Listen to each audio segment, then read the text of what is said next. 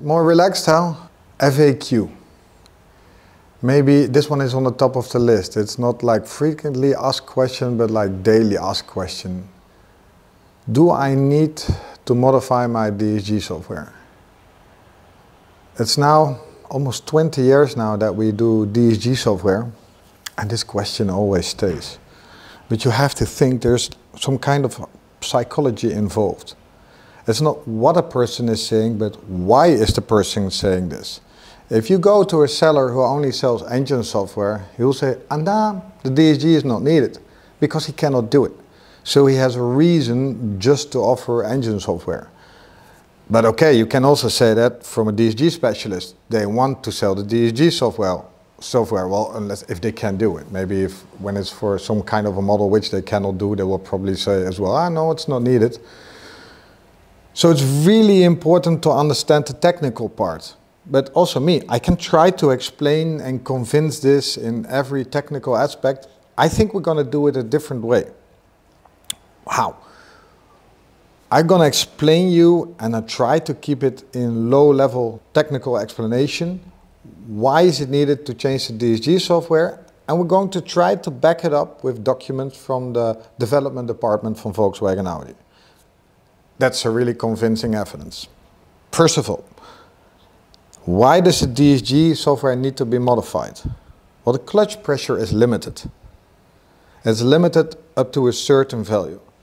So you can play around whatever you want with the engine software.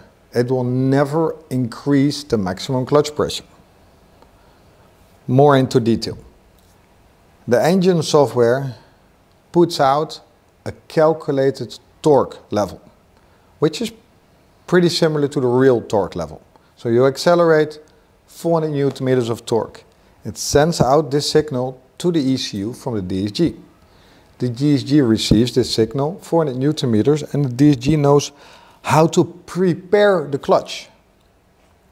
Prepare clutch, a clutch is open, closed. No, a DSG clutch is always slipping. That means when the input shaft from the clutch is doing 1000 RPM, the output shaft will do 990 RPM a little bit lower, 1%. If the difference is zero, the Mechatronic will lower the pressure of the clutch until it starts slipping again. When it slips too much, it will raise the pressure of the clutch again.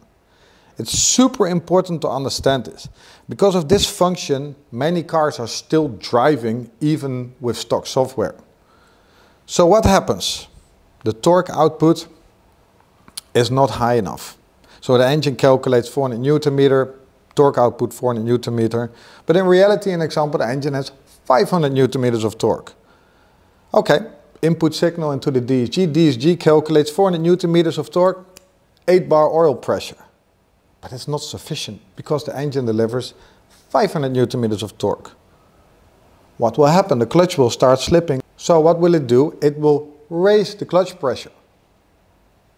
I hope everybody understands this, that this is the simple reason oh, that people say it's not needed to change the DSG software.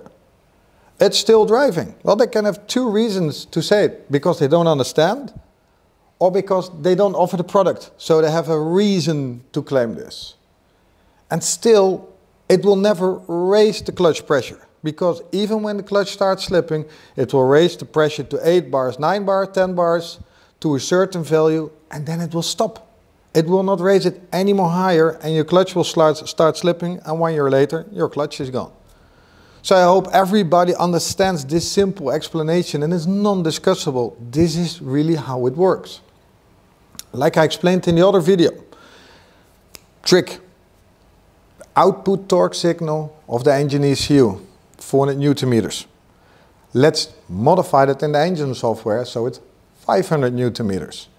Okay, the DSG receives an input torque from 500 newton meters, which the technical guys here in VCDS, you can even see it, 500 newton meters.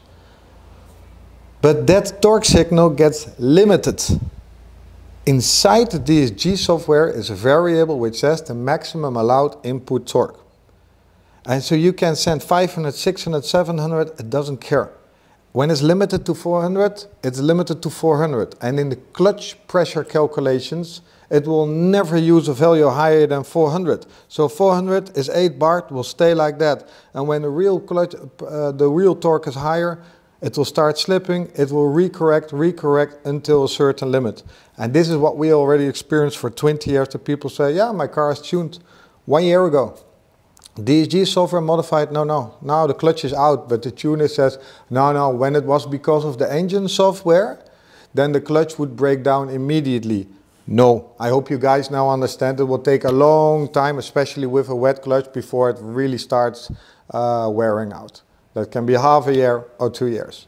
So guys, I hope this is a good explanation and we're going to try to do our best to back this up with official documentation from the factory. So after 20 years, maybe we can close this book and close the discussion. Does the DSG software have to be modified? In 9 out of 10 cases, yes.